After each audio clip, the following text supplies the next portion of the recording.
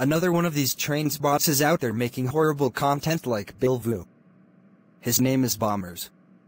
If you like him, please do not trust him because he make horrible skins.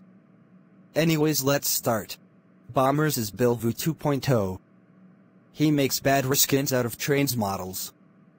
The first model he made was his Santa Fe SD40-2 7408. He rekinned it horribly by copying and pasting the Santa Fe logo. The horn is too generic, and it doesn't loop. That doesn't even exist. His Polar Express coaches are terrible. He stole the RS coaches and reskinned them by adding the Polar Express logo. K&L has one and it's way better than those. And last, his so-called CP Rail F40PH. He did a horrible job on it. It's just a poorly reskinned Amtrak F40PH that was stolen from Magicland. He repainted it into the CP paint scheme. Besides, CP Rail never made an F40PH.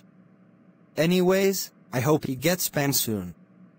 I don't know who likes him, but do you know who hates it? Conrail 336 CSX909, Ben the train kidding me. We hope he stops soon. So forget Bomber, and Bill Vu 2. Sporblast, Trainz DLS, and Magicland is 4,000 times better than Bomber. End of rant.